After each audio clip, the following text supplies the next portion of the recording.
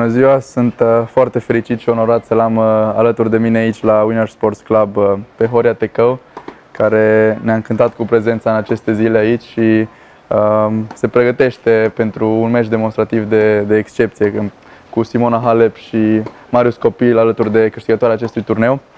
Uh, Horia, mulțumesc încă o dată că ești aici. Aș vrea să te întreb cum a fost uh, perioada asta de izolare pentru tine, o perioadă foarte atipică pentru toată lumea, dar în special pentru un sportiv și pentru un tenismen care niciodată n-a avut uh, asemenea perioadă de inactivitate. Uh, în primul rând, salut, Patrick, mersi de invitație. Um, până la urmă, totul depinde de perioada în care te afli în carieră. Uh, pentru mine a fost o perioadă binevenită, sincer, pentru că perioada asta mi-a dat ocazia să mă odihnesc, să-mi vindec accidentările, um, fac acea pauză de care aveam nevoie și pe care nu mi-aș fi luat-o niciodată pentru că eram mereu prins în următorul turneu.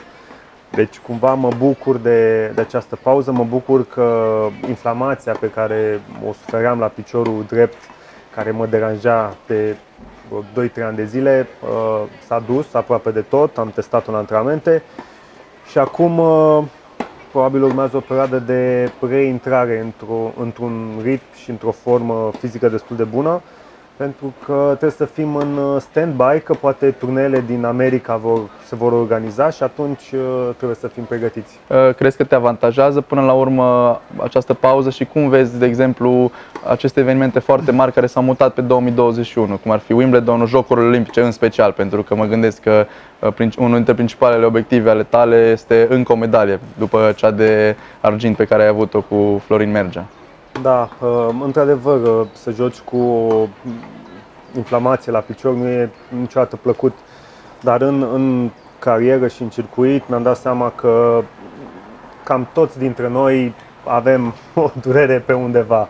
Uh, nimeni nu e 100% sănătos tot timpul pentru că ritmul este intens, sunt turnee foarte multe și importante pe tot timpul anului și atunci când ești parcă prea odihnit, prea sănătos, te duci și te antrenezi mai mult până apare ceva. Deci cumva asta m-a și făcut să continui. Uh, nu mereu luam o decizie uh, la momentul respectiv, uh, decizie care credeam că e cea mai bună să merg să joc pentru că aș fi pregătit. Da?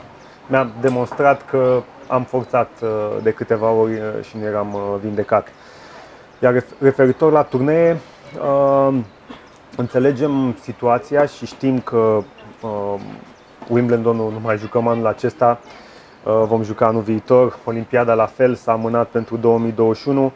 Uh, pentru noi, uh, din nou, vine ca o gură de aer pentru că noi nu eram calificați pentru Olimpiada din 2020 da. și ca să ne calificăm trebuia să jucăm turnee și să punctăm, ca să urcăm în clasament, să punctăm, mă refer la, la mine și la Florin Mergea, da. care uh, Florin e cea mai bună variantă, adică un dublu tecău merge e cea mai bună variantă în pentru ce, România. Trebuie să fii parcă în, în primii, în ce, ce clasament trebuie să ai ca să-ți alegi tu partenerul? Primii 10. Primii 10. Deci, deci astea, astea sunt cele două criterii de calificare. Să fiu eu în primii 10, eu eram 20 la momentul înghețării clasamentului. Uh, deci sunt 20 în momentul ăsta. 20 trebuie să fii în race și... sau în... Uh... Nu, 20, 20 în clasamentul ATP, dublu. ATP da. de dublu. Uh, Florin, se pare că e pe locul 100 60 sau undeva. Dar nu este o limită prin care el trebuie partenerul să fie, dacă ți-e național. Primii 300, am înțeles. Primii 300. Deci avem șansa să fim amândoi cu suma clasamentelor noastre în primii 60-65 ca să fim sigur calificați sau eu în primii 10. Și pentru asta aveam nevoie să jucăm și să punctăm, da. nu da. numai să jucăm. Iar eu treceam printr-o perioadă în care eram un pic deranjat de picior și probabil n-aș fi jucat la fel de mult. Da, și poate era și un pericol să nu fi apt să, din punct de vedere fizic la Olimpiada, da, ceea exact. ce mă exact. gândesc deci, că ar fi fost... În, uh, în primul și în primul rând, nu am fi fost calificați da, ca să ajungem da, da acolo da, și da. Să, să ne luptăm pentru o medalie. Așa că din nou a venit ca o gură de aer și acum în, în acest context uh, sperăm să fim, uh, să fim bine și să punctăm ca să obținem această calificare odată cu calificarea în proba de dublu, pot participa și în proba de dublu mixt. Pe asta vreau să te întreb. Pentru că așa sunt regulile, trebuie să fii uh, acolo uh, prezent în tabloul de dublu ca să te înscrii la dublu mixt.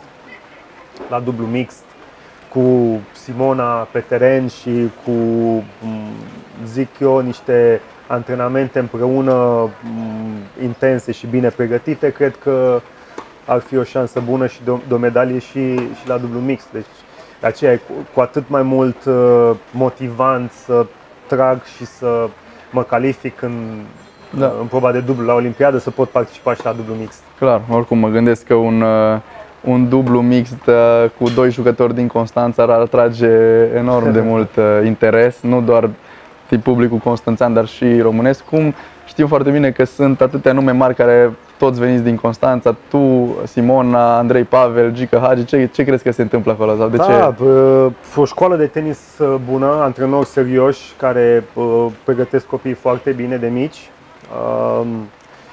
Deci au o bază foarte bună, avem toți o bază foarte bună. După aceea fiecare am încercat să ne găsim cele mai bune condiții de antrenament, dar copiii pot primi o bază foarte bună în, în Constanța.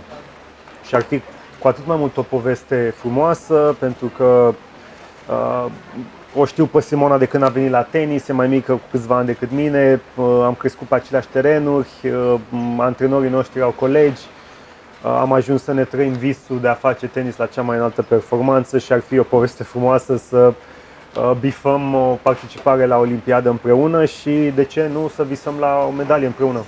Clar. Uh...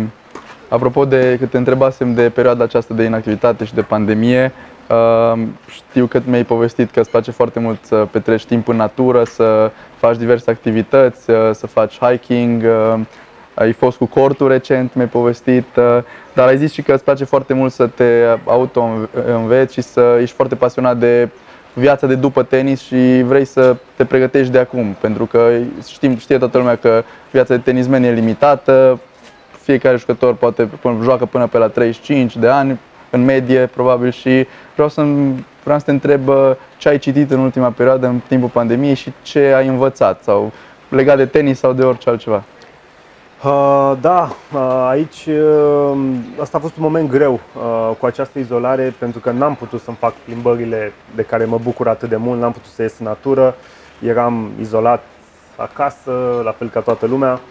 Și atunci m-am uh, concentrat un pic pe, pe studii, dacă le pot numi așa. Uh, am făcut niște cursuri de antrenor pentru că cumva simt că acolo mi-ar plăcea să-mi, să-mi duc energia după ce se uh, transformă această activitate de jucător în, în ce urmează după.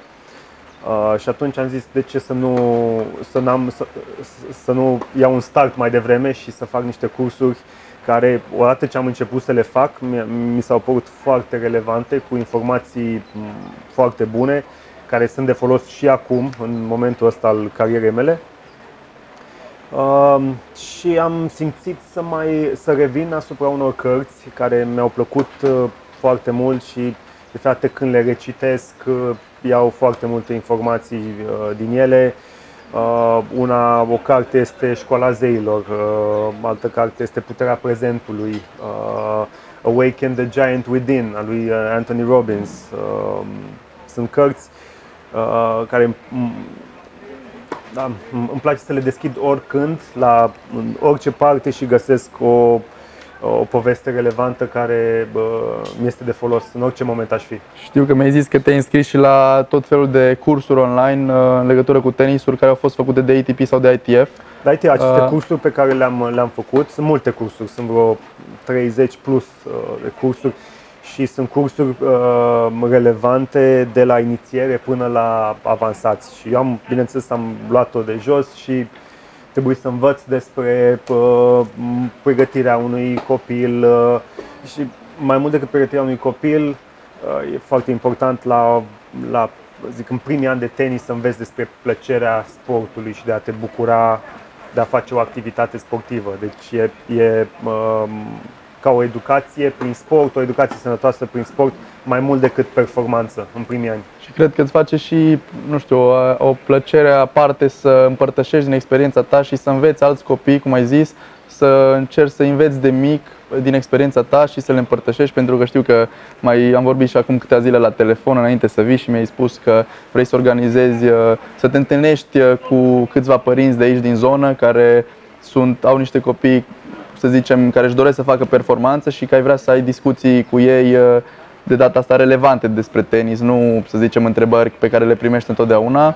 Și asta înseamnă că ești foarte pasionat și cred că vrei să urmezi calea, calea asta antrenoratului. Ce crezi că um, faci un antrenor bun sau ce calități vezi tu la un antrenor să aibă? Nu știu, sunt poate diferiți antrenori, unii care sunt uh, foarte buni când uh, au deja un jucător consacrat în top și îl ajută să se mențină acolo și să păstreze o atmosferă bună și sunt tipul ăla de antrenor care ajută un jucător să-l meargă de la zero, de la o vârstă da. foarte fragedă.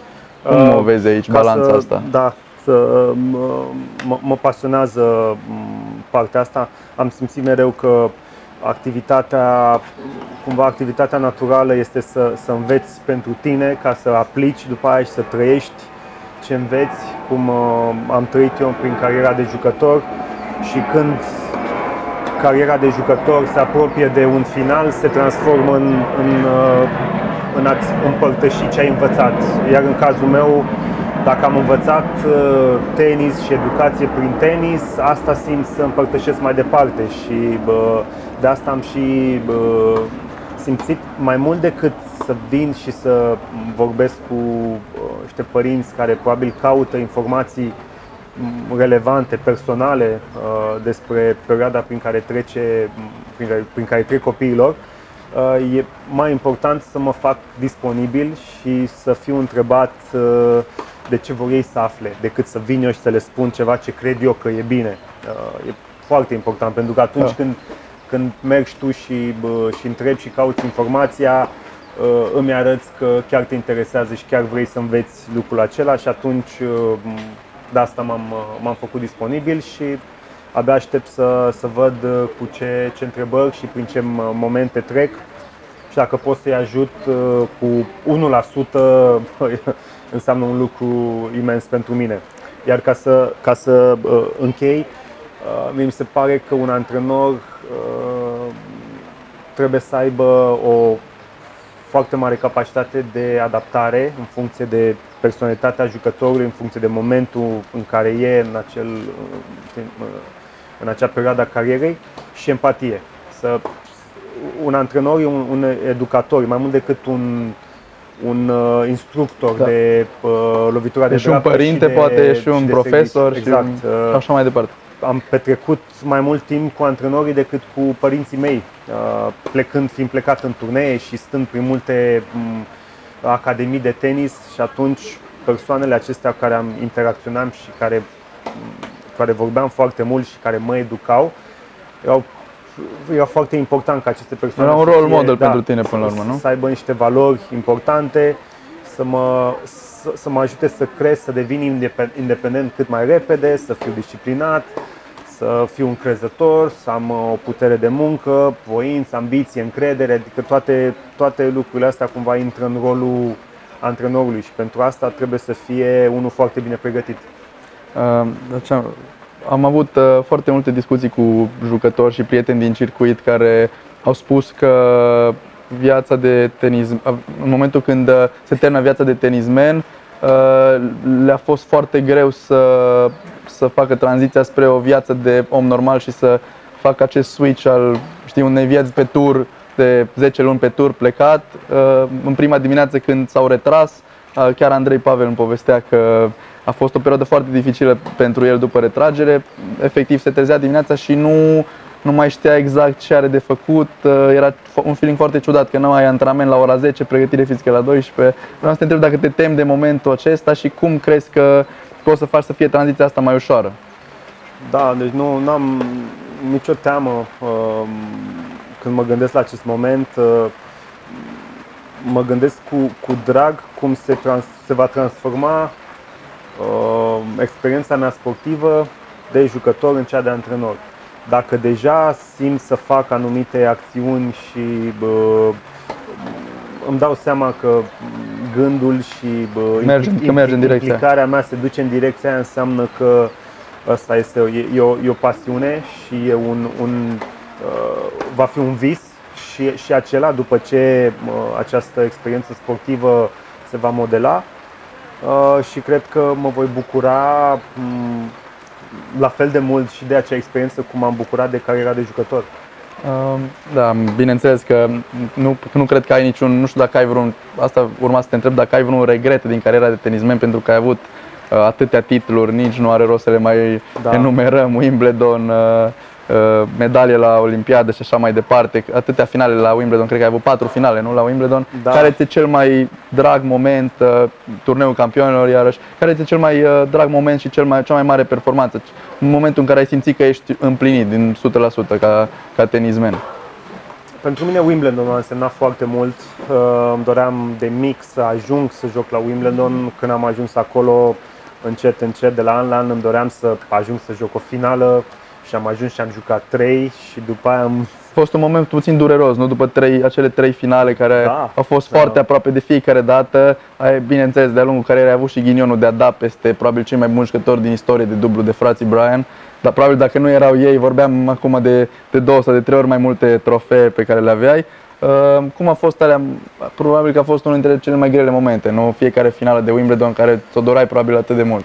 Bineînțeles, ca să, să trăiești o experiență de nivelul ăla, să ajungi într-o finală de Grand Slam, mai ales la Wimbledon, e un, un vis împlinit în sine. Clar. Uh, înseamnă multe lucruri care se leagă și se, uh, se, se adună, se potrivesc uh, nivel de joc, comunicarea cu partenerul, încrederea, uh, plăcerea, uh, deci toate uh, se cumulează și ajungi să ai o mega performanță. E dureros, într-adevăr, când, pierd, când ajungi acolo la ultimul meci și îți lipsește foarte puțin și pierzi. Când o faci trei ani la rând, cu atât mai mult, dar cumva am uh, reușit să văd aceste experiențe ca un plus.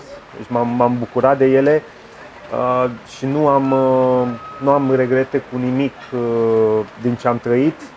Uh, mă, fiecare meci pierdut, fiecare finală pierdută a avut rostul ei, m-a învățat ceva și am mers mai departe și așa s-a întâmplat până am câștigat-o pe a patra și când am câștigat-o pe a patra în 2015. Cred că a fost o refulare. A fost un moment cu atât mai, mai dulce și mai împlinitor. Paradoxal, cele mai mari performanțe uh, ale tale au venit la Wimbledon și, și a Simonei Uh, și Andrei a jucat atât de bine și Victor Hănescu și așa mai departe. Paradoxal, noi nu avem niciun teren de iarbă în România. Cum, cum, de ce crezi că se întâmplă fix uh, acolo să avem performanțe? Până la urmă, pe noi ne motivează orice provocare și uh, orice uh, suprafață de joc. Uh, cred că nimeni, uh, în afară de englezi care au turnee de iarbă de mici și se antrenează pe iarbă, Uh, niciun alt jucător nu pot spune că e pregătit să joace da. pe iarbă da. și construit da. ca să joace pe iarbă. Uh, simți asta, pentru că toți au nevoie de mm, mult timp să se adapteze cu nu e ca și cum uh, ok, noi n-am, n-aveam teren de iarbă în România, dar aveau în Spania și ei se antrenau în Spania, de rupeau da, pe iarbă da, și da. Uh, simțeam că cumva suntem uh, acolo, suntem de la egal la egal, uh, munceam mult să ne adaptăm, uh, de la an la an Uh, țineam minte ce ne ajută să uh, aveam niște repere, uh, simțeam ce ne ajută să ne adaptăm mai repede.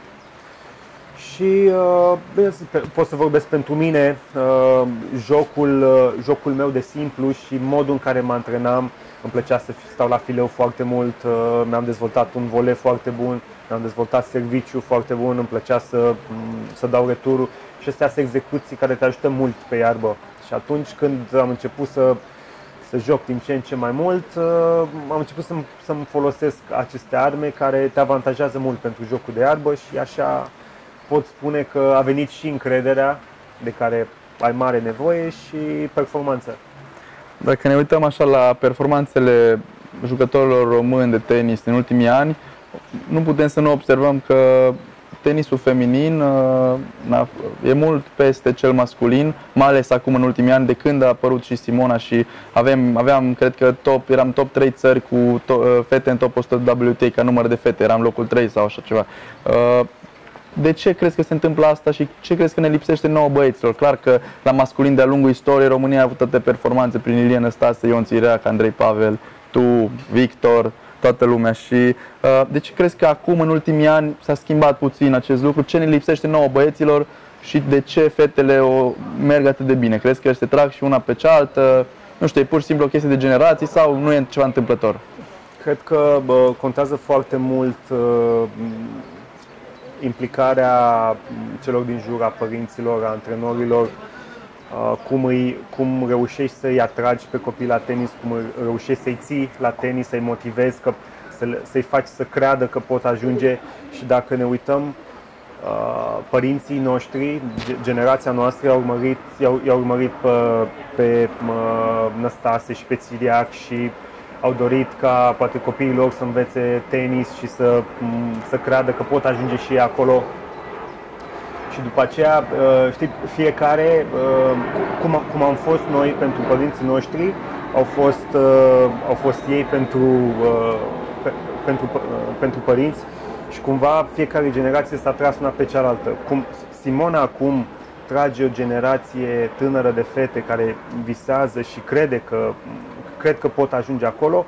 Acum avem o, o lipsă la băieți, pentru că nu ai un model să le arăți copiilor că, ok, poți să vii la tenis, poți să te antrenezi și să crezi că poți ajunge în top. Că nu, nu, nu-i vezi, da. nu avem jucători români de top. Poate și psihic, nu? Renunțarea vine din, din a nu crede. Da, da. Și în momentul ăsta când ai o fată care vine la tenis, poți să-i arăți cu exemple exact. în față că poate ajunge și poate reuși la cel mai înalt nivel, nu numai să ajungă în prima da. sută. Da. Și atunci ele încep să creadă, să creadă că aceste jucătoare care acum sunt în prima sută și vorbesc de toate, nu numai de Simona, au crescut în România. Au crescut în România, s-au antrenat pe terenurile astea cu antrenori români și după aia, mă rog, poate unele s-au dus și prin altă parte, dar au crescut în România și atunci tu poți să le, să le arăți lucrul ăsta și ele pot începe să creadă lucrul acesta. La băieți e o, o lipsă în momentul ăsta și avem nevoie de, de, de o încredere artificială un pic acum, să creadă că pot ajunge fără să aibă un, un exemplu în față. Dar pentru asta e nevoie de un, un push așa foarte mare din partea părinților și antrenorilor și a oamenilor din uh, lumea tenisului. Da, și apropo de asta, vreau să spun că am avut de, de fiecare când am avut norocul să fiu selecționat în uh, echipa de Cupa Davis uh, de trei ori cu la Brașov în Ucraina și la Cluj cu, cu Finlanda. Am avut noroc, mare noroc să te am al, alături uh, în echipă. Bineînțeles, eu eram rezervă, eram mai mult un sparring partner pentru voi, dar tu erai om de bază, ca de obicei în echipă și uh, tot timpul mi-aduc cu mare plăcere aminte faptul că de fiecare dată mă ajutai foarte, adică vorbeai foarte mult cu mine, deși aveam 15-16 ani și nu cred că trebuia să o faci sau să-ți iei din timpul tău, dar de fiecare dată uh, o făceai, veneai cu mine, te antren- ne antrenam de atâtea ori, uh, deci aveai cumva, nu cred că e vorba de o datorie, dar cred că efectiv o plăcere de a ajuta uh, tineri, tinerii jucători care veneau la echipă și chiar povesteam și acum uh, mi-ai spus că de fiecare dată când vii la echipă vorbești foarte mult cu jucătorii tineri, le explici, încerci să îi ajuți. Cum vezi Uh, tânăra generație, cea de acum, nu știu, uh, cum, ce crezi că ne, ne lipsește sau ce, ce ar trebui să facem noi mai bine uh, sau ei, cei care vin din urmă, pentru a excela și pentru a-ți urma exemplu. Ce ai făcut tu, să zicem, la vârsta, la o vârstă mai fragedă care te-a făcut să ajungi în top? Chiar dacă erau, erau, era clar că sunt generații diferite, ani diferiți, dar totuși cred că se păstrează un anumit template, nu? adică lucruri da. corecte pe care le poți face. Da, în primul rând și eu am învățat uh, atitudinea asta și eu când am venit pe lângă echipa de Cupa Davis am avut pe Andrei Pavel, am avut da. pe Gabriel Trifu care uh, erau acolo în echipă și își luau din timpul lor să vorbească cu noi, să mai joace, să antreneze cu noi și pentru noi era un lucru imens. Da. Și cumva mi-au arătat uh, cam care este rolul lor în echipă. Nu au doar rolul de, uh, de jucători, și de a avea grijă doar de ei în momentul ăla. Cumva ajungi acolo, ești om de echipă, ești conștient că îți faci treaba în echipă, dar în același timp e și datoria ta să împărtășești cu cei care îți pot uh, urma uh, exemplu și uh, chiar a veni lângă echipă în perioada în care joci și uh, mi-a făcut plăcere mereu să ne antrenăm, că știu, erai foarte concentrat și bă, uh, ofereai atenția și efortul acolo și atunci era o plăcere pentru mine să, să jucăm împreună. Și cred că asta lipsește multor tineri care acum renunță sau nu cred suficient în ei, acest uh, vis. Uh, pentru că trebuie să, ai, trebuie să ai visul, trebuie să ai pasiunea și trebuie să crezi. Și eu știu că a crede și încrede asta nu vine natural și nu vine ușor, dar sunt oameni în jur, sunt antrenori, sunt uh, foști jucători, sunt preparatori care te pot învăța treptat cum să faci lucrul acesta și de-aia încurajez pe toți tinerii jucători să meargă mereu către cei mai experimentați să le ceară sfatul. Nu e nicio rușine în a cere sfatul. Nu înseamnă că ești slab dacă trebuie să ceri un sfat. E chiar o, o conexiune, e chiar un, un, un gest de, de încredere. Am încredere în sfaturile tale și sunt oameni inclusiv uh, eu, care abia așteaptă să fie întrebat și să, să vină cu... Asta mi-ai și spus, că ai vrea, să, ai vrea să fii mai mult întrebat, nu? Adică da, vrea să, să, să fii mai mult, uh, cumva, să te bată pe umăr un jucător, să vină să te întrebe Horia ce am Contează de făcut, ce făceai. Să, să, vină, să vină de la ei. Contează mai mult să vină la ei. Eu mă fac disponibil, dar contează să-și dorească ei lucrul acesta. Dacă ei nu-și doresc să crească și să, nu știu, să evolueze, Trebuie să vină din interior înseamnă, cumva, nu? Înseamnă că nu e, nu e, nu e pentru nu pasiunea acolo și atunci uh, nu poți să faci o chestie forțată. Deci vreau să-ți mai zic că la Cluj știi foarte bine că noi organizăm un, un eveniment atipic în lumea festivalurilor. În, în România știm foarte bine că e o țară care e pop, foarte populară la nivel uh, mondial pentru festivalurile de muzică noi eh, aici la Cluj ne-am, ne-am decis să mai venim cu un alt tip de festival, un alt fel de festival, așa ne place să-i spunem, eh, Sports Festival, care încearcă să promoveze un, un stil de viață cât mai sănătos, să aduc, încercăm să promovăm sportul de masă, să atragem uh, uh, oamenii care fac sport zi de zi, să, să o facă într-un mod sănătos. Nu încercăm să mergem doar pe parte de performanță și încercăm să aducem uh, și valorile, așa cum ai spus că ai nevoie de exemple și de valori lângă tine. Încercăm să unim uh, publicul de masă și copiii uh, cu valorile și cu numele foarte mari în cele patru zile. Da. Și încercăm să schimbăm o, o mentalitate în România, să arătăm că, că sportul, uh, am citit foarte multe studii și am, am văzut că sport, oamenii fac din ce în ce mai mult sport, pentru că fiind viața din ce în ce mai stresantă, pe timp petrecut în trafic, tu simți nevoia de a avea o refulare atunci când te duci acasă seara. Și este dorința aceasta de a face sport, doar că trebuie promovată. Uh, cum, cum ți se par acțiunile de genul acesta ca Sports Festival, care momentan e unic la nivel european? Uh, cât de important ți se pare în România și cât, care crezi că va fi impactul în timp? Momentan suntem la, uh, trebuia să avem a treia ediție, o vom avea anul viitor, uh, poate o să avem plăcerea de a te avea alături. Cum, cum vezi acest eveniment și acest proiect? Pe mine bă, mă bucură imens această inițiativă și vă felicit pentru Sports Festival.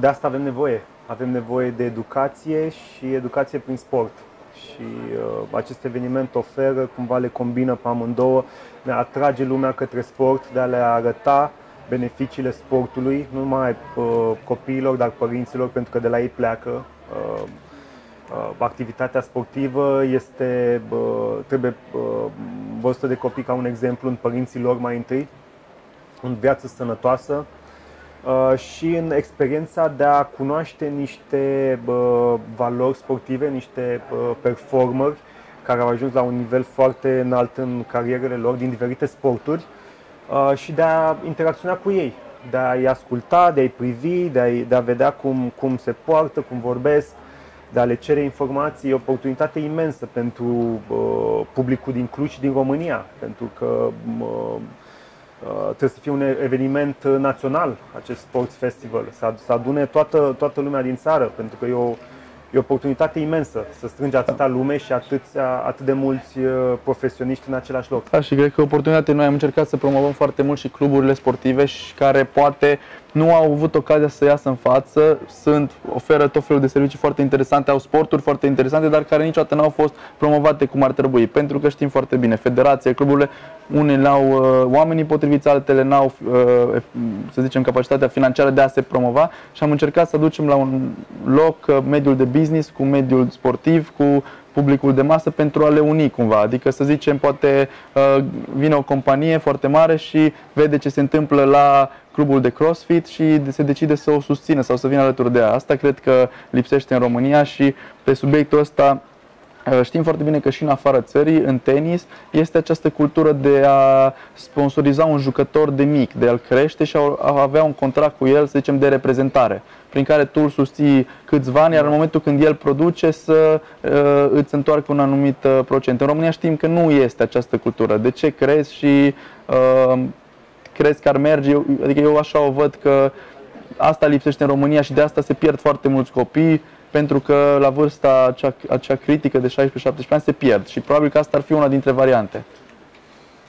Da, uh, sunt prea puține exemple de genul acesta. Uh, sunt câțiva jucători uh, în care mă pun și pe mine, uh, care au fost ajutați de acest sistem. Deci eu am avut, în perioada în care eram copil, am avut oameni din jurul familiei mele care m-au ajutat să continui cu următorul turneu și următorul, următoarele patru luni de tenis.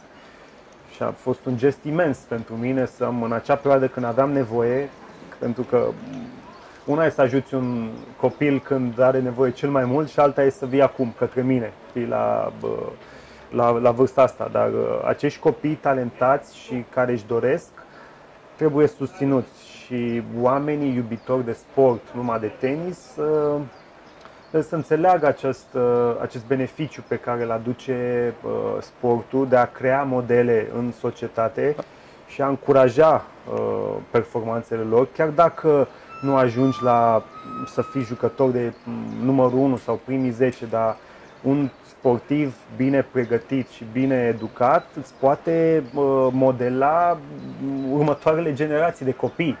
Uh, pentru că ei trebuie, uh, acești oameni, uh, oameni modele, oameni campioni, trebuie promovați și dacă suntem un pic conștienți și responsabili cu ce ne dorim de la societatea noastră, trebuie să facem acest pas. Fiecare cu cât putem. Asta nu înseamnă că trebuie să avem acum uh, Uh, resurse financiare nelimitate ca să ne implicăm. Putem să ne implicăm doar prin, uh, prin atenție, prin da. energia noastră, prin cuvinte, prin uh, promovare, prin a fi prezenți la un eveniment sportiv, a veni aici în tribună și a încuraja jucătorii sau da, de, de și transmite energia. Și, și la un mod de, da, de, de încurajare. Bineînțeles, sunt și alți oameni care pot face mai mult și care na, trebuie să să vadă acest mare beneficiu pe care îl are această acțiune. Ești ambasador uh, UNICEF, uh, mi se pare un lucru extraordinar, este un brand incredibil. Am văzut la atâtea echipe de fotbal pe tricouri, care uh, de obicei brandurile plătesc să fie pe tricouri. Aici, în cazul UNICEF-ului, echipele trebuie să plătească, să, să, să facă o donație anuală de proporții ca să fie uh, asociați cu uh, UNICEF-ul. Cum vezi acest lucru? Cât de tare te-a onorat când ai uh, aflat că vei colabora cu ei și ce crezi tu că poți să aduci uh, în plus prin, uh, prin UNICEF? Uh, da, această colaborare mm, cu organizația UNICEF uh, a venit cumva mm, surprinzător. Uh, eu aveam de câțiva ani uh, acțiuni în care m-am implicat în acte educaționale sau uh, diferite finanțări în zona copiilor și în zona educației pentru copii. Și cumva uh, în dorința mea de a mă implica cu o parte din, uh, din timpul meu și din, zic așa, din energia mea, de, din, de toate felurile, m-am gândit cum, să, cum o pot face într-un mod mai organizat în care pot atinge mai mult decât să mă duc așa punctual pe un caz sau pe o... Da. Adică îți dă o putere de promovare da, mult mai mare. A... Și, și atunci uh, cumva am uh, luat legătura cu echipa UNICEF, au, au venit la mine și uh, am început să lucrăm împreună. Am fost în, în comunitățile unde au programe educaționale uh, de ani de zile și uh, am fost de câteva ori, am văzut cum se progresează și ce muncă, de ce muncă e nevoie ca să poți să schimbi uh, educația, uh, igiena și da. multe aspecte care uh, zic, împiedică multe familii și mulți copii să aibă o viață normală. Uh, iar UNICEF o face la un nivel foarte uh, larg. Uh, schimbă educația în anumite zone uh, și pentru asta ai nevoie de implicare și am simțit că este o zonă în care îmi place să mă implic, îmi place să militez pentru, uh, pentru programul lor și uh, da, îmi place această colaborare. Dacă tot își doresc oamenii să afle atât de multe lucruri despre tine, uh, atipice să zic așa, după search de pe Google, hai să le oferim un pic ceva mai nou. Mergem așa la două poluri opuse. Ce ai, ce ai preferat dacă ar fi să alegi între, să zicem, bungee jumping și stat pe șezlong la plajă? Eu cam știu răspunsul, dar spune-ne tu așa. Sau e undeva la mijloc? Nu, nu, nu. Stat pe șezlong la plajă. Din aceste două opțiuni, uh, cu siguranță, nu sunt fan uh, sporturi extreme. Îmi place aici pe sol, liniștit. Um, da, n-am căutat niciodată. Da, uite, acum faci școala de șofer pentru moto, nu? Adică asta totuși nu e chiar sport extrem, dar merge un pic mai spre un, da. adrenalină, să zicem mai. Da, cred că poate fi uh, un sport extrem, dar pentru mine este un hobby, un hobby de plimbare și relaxare. Hai să vedem la partea de filme. Ce, ce ai alege între The Last Dance și Game of Thrones? Uh, The Last Dance. The Last Dance. De mult am mai văzut un mini documentar, serial uh, pe care să-l revăd de, uh, de încă două ori, imediat după ce l-am văzut. Mi-a, mi-a plăcut. Uh, mi-a plăcut, am luat multe lucruri uh, interesante din, uh, din acest serial și uh, da, de am și simțit să-l revăd de două ori. Prefer la, să zicem, la o petrecere, să prefer să cânti sau să dansezi? Sau să stai la masă? să dansez mai mult decât să cânt, ca să nu gonesc toată lumea. și să, așa, în încheiere, să revenim puțin la treburi mai, mai serioase. Ce alege, să zicem, între Nadal și Djokovic sau Federer? Hai să-i luăm pe toți trei, că sunt din aceeași ligă. Nadal, Djokovic, Federer, pe ce alege aici? Fără să Nu cred că ai supărat pe niciunul dacă ai zice, nu cred că ar fi o problemă. Deși, apropo de asta, știu că ești prieten cu Federer, uh, îmi ziceai că vorbiți des, v-ați, uh, vă vedeți și la turneul campionilor și în diverse ocazii, că ai și jucat cu el din câte știu. Da, cum, e impresionant, m-am, m-am antrenat cu el de multe ori, de, de multe ori când suntem la turnee, bă, mă apelează să facem un antrenament sau o încălzire pentru meci și m-a impresionat mereu cât de uh, prezent e în moment și în discuție și stai pe bancă cu el și te întreabă de Federația Română de Tenis și de lucrurile din România, dacă sunt așa sau s-au schimbat și ce... e foarte conștient de ce se întâmplă peste tot în lume uh, și în lumea tenisului mai ales. Nu e un tip care e numai în lumea lui acolo sus și uh, ignorant față de restul. Asta m-a impresionat uh, mult la el cum a impresionat și uh, modestia lui Nadal și uh, modul în care intră în vestiar și salută pe toată lumea, de la Federer până la da, cel că nu care, face diferență între cel oameni. care curăță vestiarul și strânge prosoapele, salută pe toți în fiecare zi când intră în vestiar și când pleacă de la turneu, a câștigat sau a pierdut, își are vedere de la toată lumea, de la toți jucătorii și salută, ne vedem la următorul și e impresionant să vezi uh, acest mare caracter pe care îl au.